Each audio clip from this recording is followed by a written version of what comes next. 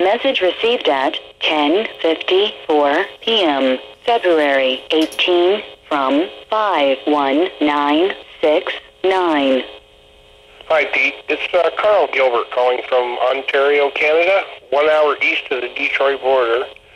I just wanted to call and thank you, man, because uh, you're a good teacher. I'm glad you're out there teaching the kids that don't have a chance to to really learn from the other bullshit stuff we see on TV. But you know, your stuff is uh, on hands and it's uh, right to the point and it's very good. Uh, I have a shop here myself, but uh, um, I, I really enjoy watching your work and uh, the things you teach on TV is very good. But you take care, um, and uh, thank you very much. Okay, Pete, you take care. Bye.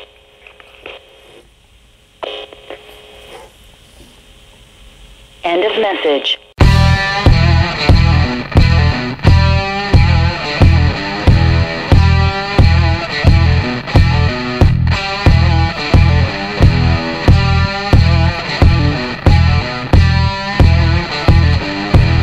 Welcome to DIY Automotive School with my friend Pete and Minnie, the body shop girl.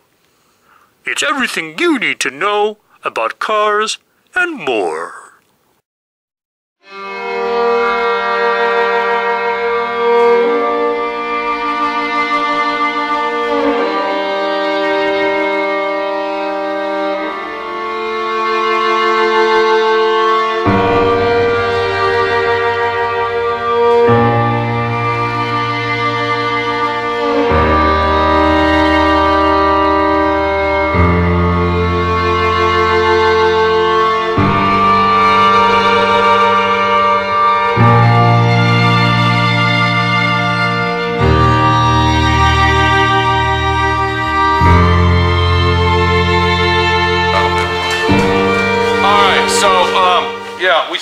Of situation that you have when you're doing this type of work, and it's not a good situation. Okay, so what we need to do is we are going to go ahead, and I'm just going to do a real quick overview of how to fix a fender like this properly. What's up? Just listening, dude.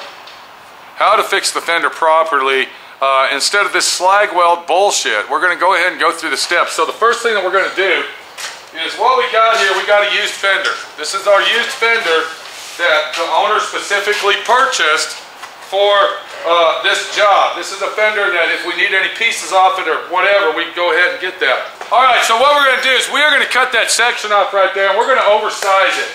Now, when I say oversize, I'm going to cut more off than I really need. And the reason I'm going to do that is that way we're going to have a lot of extra meat on the end of it to play with to make it fit precisely where we want it. So we're going to cut that whole section off and then once we get that done, we can go ahead and get rid of this What are you fender. what are you gonna cut that with? I'm going to use my cutting wheel to cut it with. Okay, I'm going to go ahead and cut this off. You need to hold that.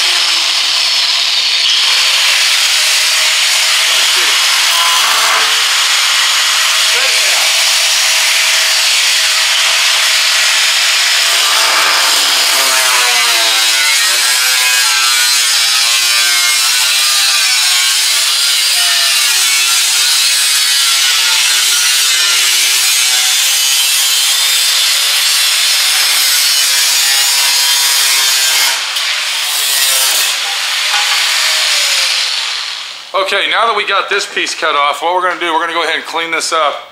And uh, we're not going to use all this, all right? What I'm trying to say here is that this is uh, an oversized piece. And it's important that when you do this type of work, you make it oversized, and then you're going to cut it down to fit where we cut out.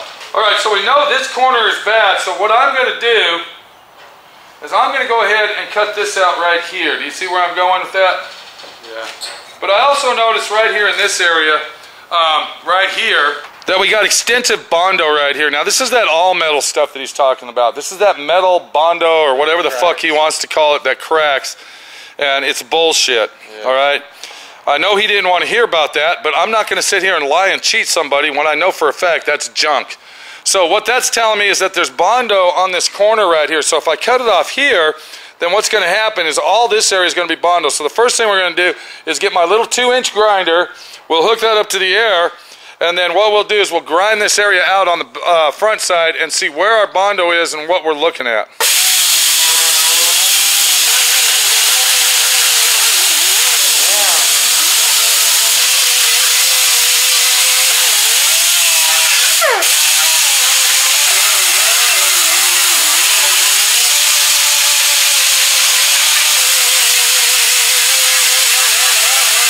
Okay, while Darren is taking that out 903 guy, we're gonna go ahead and compensate on that. Um, 903 Darren, there you go. He's taking out the bolts on that. Uh, we got to get this bucket out. This is a headlight bucket that is uh, bolted in here. Thank God it's bolted because on the new cars they're welded in now. And the way that we're doing this is I went ahead and ground this down past the uh, Bondo. Now we brought it down to bare metal so we know where and how we're gonna actually do this. So now a lot of times when you do this, you can actually lay the uh, new piece on top of the old piece. We won't be able, what the fuck's going on, dude? Okay. So we won't be able to do that with this due to the fact that it's got this little pocket right here that's not gonna work for us. So we're gonna go ahead and measure this out. Once we get that measured out, then we'll be able to set this on here, find our contour line that all matches up, and that's going to tell us where we can cut to replace. And another thing you want to do is always make marker points. Like, do you see these two holes I got? I can use that as a marker point. All right, that's a marker point to tell me how far I can go on this one.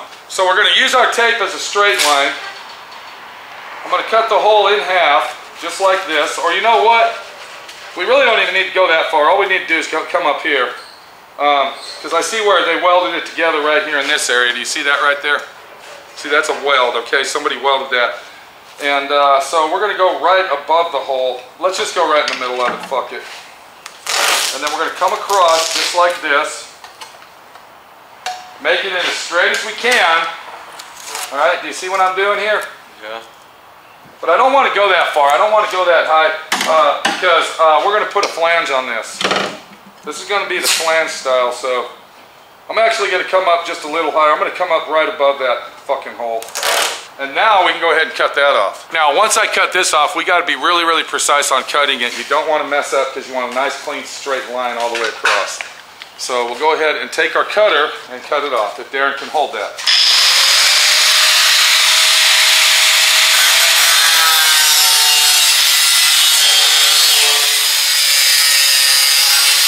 See what I just did there, Mr. WLL guy? Yeah. What did I just do? You just cut it precisely in a straight line. That's right, but how did I get that straight line? Use the tape. I used the fucking tape to make a straight line. Do you see how important tape is around the body shop area over at my friend Pete's? Yeah. Okay, we're gonna pull that tape off, watch this, bam. Now that bitch should Okay. Now we're gonna go ahead and get the air hose. I'm gonna clean the back side of this, get all this slag off. Watch this, bud.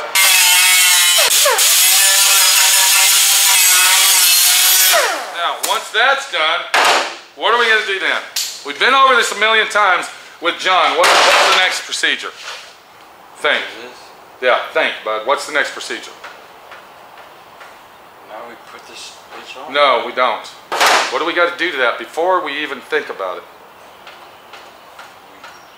Gotta clean this. Flange tool, my friend. Flange tool. That's right, 903. Get the fucking flange tool. Yes. Right below mini. Right below mini. There you go. So we're going to take the flange tool now. The way that you use this flange tool, you got to use it properly. Or the stair step's going to be at the wrong angle. Okay? So you take your flange tool, you set it on here. Do you see the flange? Yeah. That's going the wrong way. Or is it going the right way? That's going the right way because you want the flange on the outside because we're going to overlap. See, when I take this piece, it is going to overlap on here like this. Do you see what I'm saying? Yeah. So you take the flange tool just like I did. Now, do you want to do that? 903. Yeah. Would you like to try that? Come over on this side so you can see it. And let me explain it to you. Hold on, all right? You pull the trigger. Okay, now move a hair half away. Okay, you're doing something wrong here. Let me see. Can I look at it? You're leaning on it, dude. You can't have any pressure on it. Stand right here where I'm at. Now go all the way down. There you go. Okay, hold on. You got to overlap them. Okay. All right, so this is the right way to fix this kind of shit, is using a flange tool. Darren's never done this before. He doesn't know anything about a flange tool, but guess what? He's fucking doing it. All the way as far as you can go. Right there. Thank you. Okay, now I want you to start here and go back. We got to do it twice. I don't want that done. We're going to butt weld that in. Start here and go back. Start there and go back. There you go. So when you're using a flange tool on old metal such as our 1960 Impala, it's very important to go over it two or three times because that's very thick metal and you want to make sure that you get a nice, good, even flange. Um, a flange tool is a handy tool. A flange tool is your friend when it comes to doing this work right here.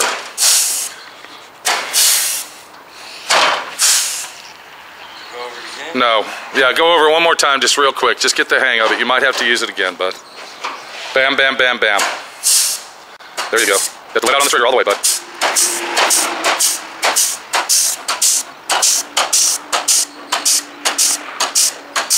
All right, now that you got your nice clean flange there, what would be next? Now we put this bitch. No, we're not ready to put that Oh on. no, we Why aren't we ready? WLL. This is all fucked up. That's right. So we got to get our cleaner out here, which will be this. Okay, let me have that. And we got to clean this baby out. Música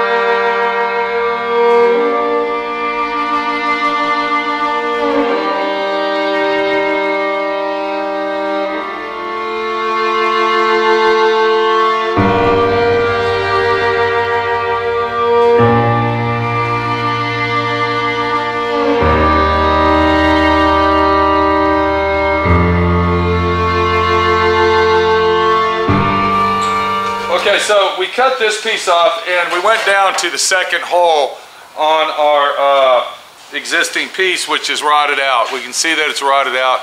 It's a pile of shit. And it's fucking trash, bitch! So then, we also made our flange, which uh, Darren learned how to do that very properly. So this is our hole that we're looking at. This hole right here is our mark line hole that we need to line up. So now that we cut off the end of our fender, we can go ahead and slide this down on top of it and line our hole up just like that and then everything should fall in place to where it is properly fitted. You see what I'm saying? Yeah. Now, before we make any marks, what we need to do is take some C-clamps. You see what that is? And what this is going to do, this is going to help us make our marks properly where we need them. See where that hole is right there? We're going to clamp that just like that, okay? And then it should fall into place because it's a molded fender from the factory. We'll take another pair of these pliers here and now we can see that everything's fitting good. Now, more than likely what we would do is we would actually take our scribe tool and we would usually scribe this right here on the front. What's scribe?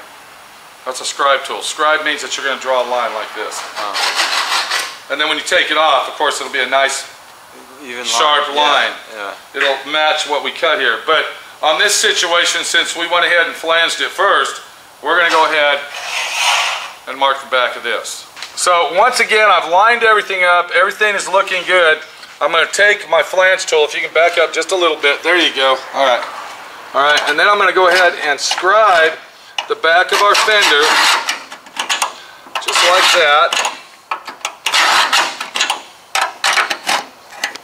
And then what that's going to do, all right, when I take this off, if you can back it up a little bit, there, Darren. All right, give everybody a view back here. There you go. Is if you look right there, you can see the scribe line. See it? Mm -hmm. Now we're not going to cut it there. That's not where we're going to cut it, okay? Because we got to compensate for what? We got to compensate for our flange. Because we want this to be on top of that. Do you see what I'm saying? Yeah. So watch. I'm so frustrated and pissed off about this bullshit that I wasn't thinking. See? Wasn't thinking. Now I could come back and cut all that off, but I'm not gonna. I'm gonna keep proceeding. So if you come over here, come over here, all right, we're gonna measure our flange, and it's a half an inch. Do you see there? Mm-hmm. That's a half an inch flange is what we got. We are going to go ahead and add 3 eighths of an inch to this right here, bud. So what we're going to do is we are going to go ahead and add 3 eighths of an inch, just like this. I'm going to make random marks. Because this has got to be pretty precise, dude. What do I got here, bud? Two inch tape. It's not 2 inch. Or one inch tape, my bad. It's 3 quarter, but close mm. enough, bud. The small tape. That's what There you want. go, the small tape. That's a good angle. Okay. And now what I'm going to do is I'm going to find my marks and I'm going to go straight across just like this.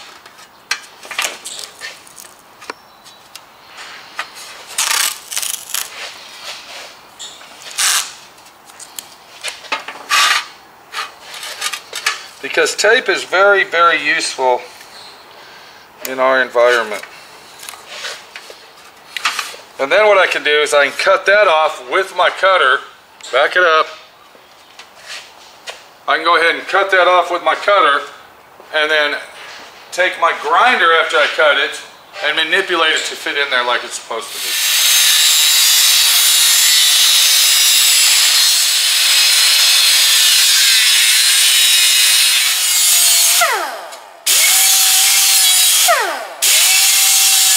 Okay, now that we cut our piece out, you can see, remember that lineup mark I was talking about? Well, we went 3 eighths down and it ended up in the middle of our hole there. So what we'll do is we will go ahead and set this back on here. And it should be a nice snug fit. And look what we got. All right, let me line that up. Uh, my grinder, hang on. Can you get my welder and bring it over here, please, there?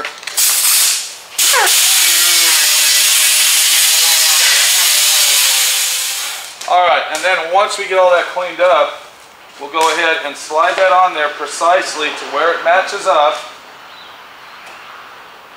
Just like that, and I see that it's a little bit too long still in this area here. Can you look at this here for me, Darren, and see what you think about that? That is what you call a nice flange right there. And now you see why you use a flange when you replace pieces such as this. And you can also see on the back where the piece fits properly and it will look very, very professional once we weld it up. All right, what we're doing now is we got our piece fit on there perfect. We've already showed you that.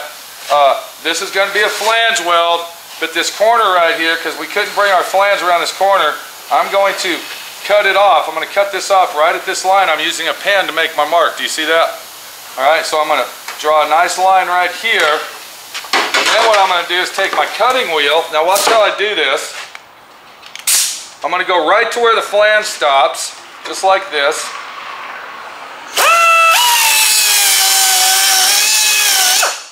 And then I'm going to cut this off just like this.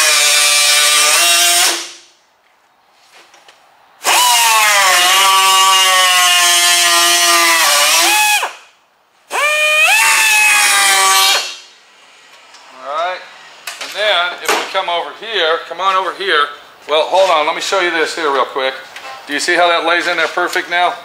We don't have no stress on it whatsoever. Alright, so we set our piece on there. It's like a puzzle now, see? See there? Look at that. And look how that lines up perfect, dude. Yeah, looking nice. Do you see that right there? Yeah, looking Now, nice. Now, what we need to do is we come over here and we repeat our process. Remember I told you right in the middle? Did I, did I, did you hear me say that? Yeah. Okay, so we're gonna line up our flange right where it's supposed to be. Because that's another thing, okay, back up a little bit, Darren. Okay, because that's another thing when you fit these pieces on here, you don't want no stress on this that's gonna bend it and warp it. So, we couldn't flange around this corner, remember that? Yeah. All right, are you watching, listening, and learning? All day. So I am taking my piece and getting it on there and I'm lining up the middle of this hole. Do you see that hole right there, Darren? Yeah. Look a little closer so everybody else. I'm lining that up and then I'm making sure my flange is right and then what I'm going to do is I'm going to go ahead and mark that as well, see? Just like that and come around. And then I'll take my cutting wheel and I'll cut this corner off so this is going to be a butt weld situation as well. Watch close, bud.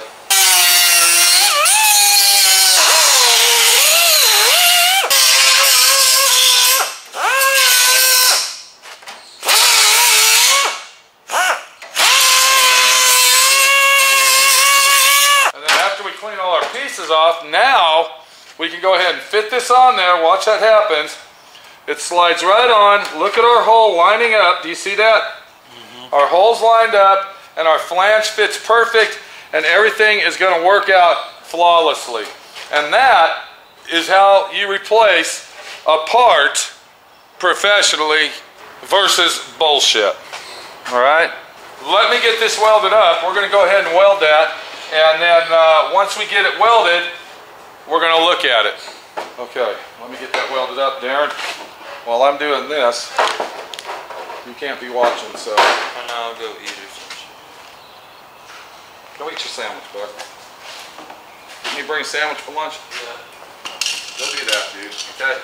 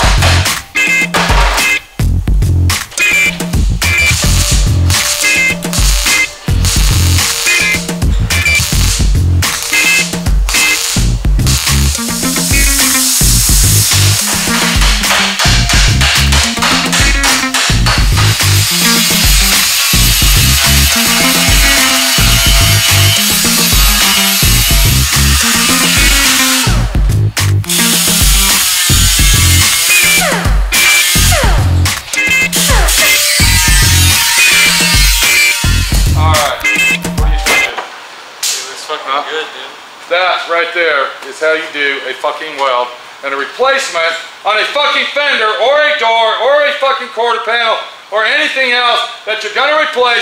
The way that it's supposed to be fucking done is to use what fucking tool? 903 Darren fucking guy. The flange tool. Where is my fucking flange tool? Right there. That is the trick of the trade of doing a patch repair panel properly. Let's look at the back of it and see what we got. So now you see that the flange is going to be a nice waterproof airtight fit. I went ahead and spot welded these right here. I put a couple spot welds.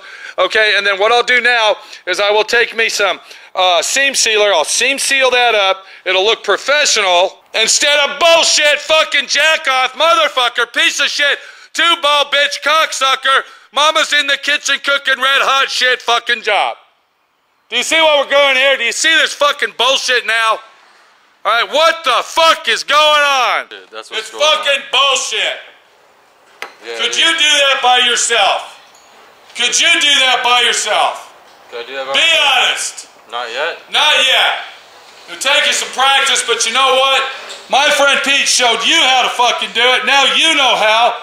The guy that just watched it can get his thumb out of his fucking ass, and he can fucking learn how to do it. Definitely. Simple. It's not hard. When the owner comes tomorrow, we'll have a talk with him about this and get him on film. And I'm not going to do the body work. This is a nice, easy, simple uh, skim coat body work action here now. I guarantee you, if I took the Bondo out of here, all right, it would probably be about this fucking thick, dude. Oh, I bet. Compared to that shit that was Alright. already caked on there.